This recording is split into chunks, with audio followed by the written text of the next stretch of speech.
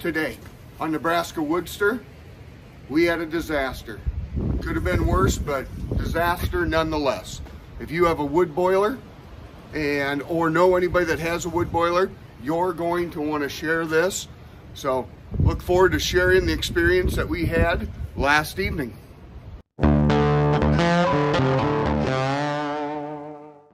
Welcome back, Woodsters. If you're new to the channel, welcome. If you are someone that's been here but been following me, thank you and uh, welcome back. All right, today, not a whole lot of work going on today. What we are going to do is I'm going to share a little bit of an experience that we had last night. Um, and yes, you heard me say it was a disaster. Um, and I'm going to show you here real shortly. We got some footage of stuff last night as well um, that I'll be probably doing some voiceover because there might be a little or a lot of cussing going on uh, when everything was going down here. So a little bit of background. Uh, last night got home and was going to run down to the dump and got to the dump and there's about 7,000 cars in line. So decided to go down to uh, down to the local establishment, to the pub and uh, have a cocktail before I dumped off the trash. Um, my wife was at work and she came home uh, I was about 6.30 and I think I got a call at about 6.31 um, and she was quite frantic. Um, lots of cussing on that video, on that phone call as well. So um, I busted home here and, and this is what I came home to. First she thought that I pulled a brain fart and just left the door on the wood boiler open and uh, but that wasn't the case. When she opened it up, she looked outside and I'll show you some pictures before and after. So here's my wood trailer ready to go in the wood boiler.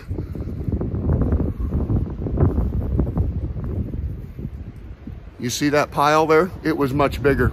And last night, as you'll see on some footage, it was a lot hotter last night as well.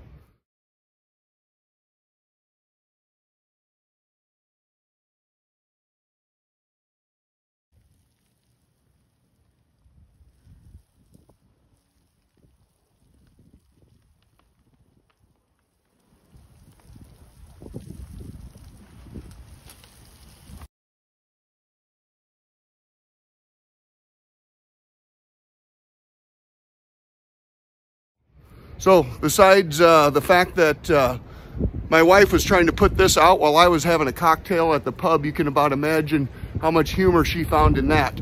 But this is what this is what the aftermath looks like. She got pretty hot. I was. Uh,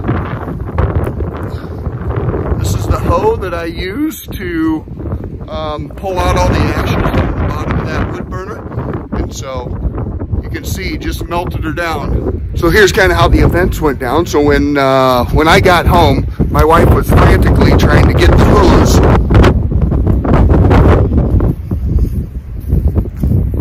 hooked up. As you can see, there's two hoses there, and she was failing miserably as uh, she was expecting the fire to move on to the the wood trailer and then onto the shop, and not sure if I was going to make it home from the pub. So. Um, we got that hooked up, started putting some water on it. I found out very quickly that uh, one hose was not going to do it, so I I came back out and I really sorry about this wind, but emptied that canister on that, on that fire. That did absolutely nothing. From there, I think uh, the next event, and I'm trying to capture this wife to get her phone out and take some video and take some pictures. Yell at the daughter that was in the house and take some pictures because this is going to be some good pictures you guys would love to see.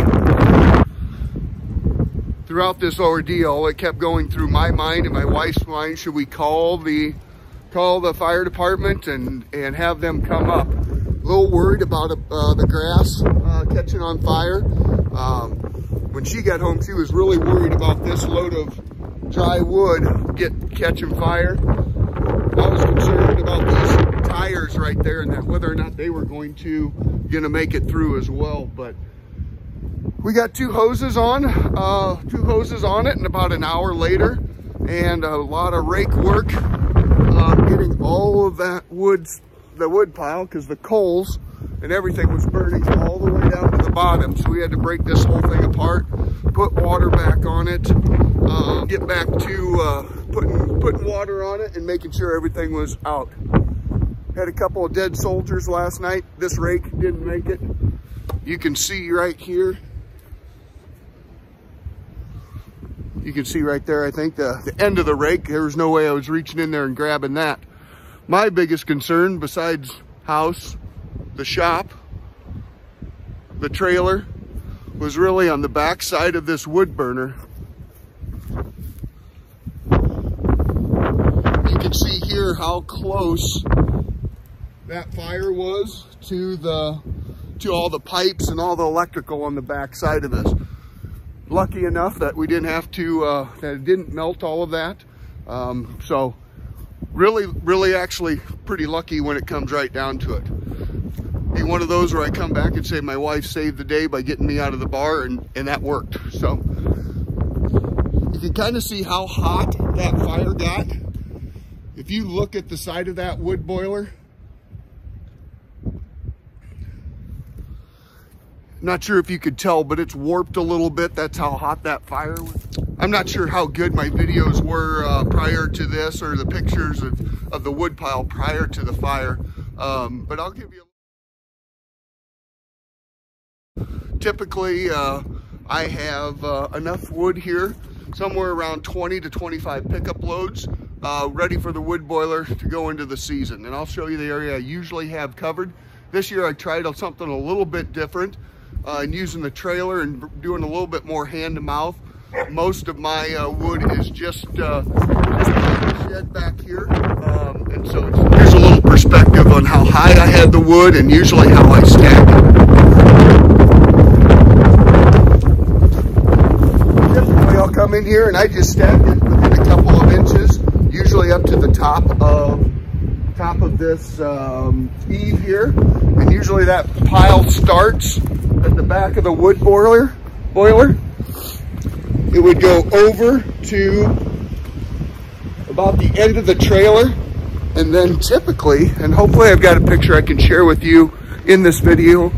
Typically that would come, that wood would come all the way out to right here, right at the edge of that cement, and then fill in all of this back here up and to include about half of that trailer. So typically about 25 pickup loads. So if we would have got that started on fire, it would have been a complete disaster and we'd probably be redoing some siding on this house, if not rebuilding a house. And my nice shop right there, she might have had some uh, some war marks as well. So the obvious question, probably one that I asked a hundred times as well, is what the hell happened? So here's what I think happened. Last year, or for the last six years, this will be the seventh burning season for this wood burner. I've always had a, uh, a chimney on there for some extra draft, get it up, get a little up a little bit farther. Um, and so this year, um, that rotted off, so I didn't replace that. And so my, my chimney is fairly short right now. Um, short as it's been in in six years, so I need to get an extension. Next thing that I think that had happened last night before I uh, headed out down to the pub, also known as going to the dump, two in the same some days.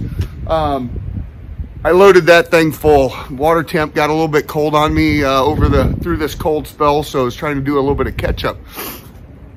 The other thing that this uh, wood boiler we use, and this I think is where the problem occurred. Sometimes that, that doubles as an incinerator. And so had some old tax records and stuff that we were getting rid of. And so I just chucked in a handful of those right on top of the, the wood after I packed it full. And my thoughts is, as that thing got really warm, one of those embers came up. We had a wind coming out of the south, and I think one of those embers came off the chimney there and landed on that dry wood pile and started it on fire. So that's what I think happened. Is that what happened? Leave your comments below. I'm not. So now I'm not sure what the hell to do. So where's my wood gonna go from here on out? You know, the first thing we're gonna do is we're gonna get a chimney on this one here. Um, and from there we will we'll try to decide what uh, where the wood pile goes, how do we cover it, and how do we ensure this doesn't happen again. So just wanted to share that experience with the, with, with you guys out there. And uh, I know I see a lot of stuff on YouTube. I see a lot of stuff out there where um, wood's right next to those boilers. I'm not convinced that I'm not going to still have that, but I'll have some extra precautions in place. So, not sure how many of you have ever uh, tried to put a fire out when it is 17 degrees, cold hoses, um, and windy as hell uh, fun. Um, my daughter and my wife thought not well, so Don't think anybody can feel their fingers when they're done. But uh, I think that was their help because, uh, yeah, I'm not so sure uh, me at the pub for a couple extra hours, uh, we'd be looking at the same picture here today. So be safe out there, kids. And uh, yeah, leave in your comments below if you've ever had anything like this happen to you before and uh, maybe what suggestions you have moving forward so this don't happen again.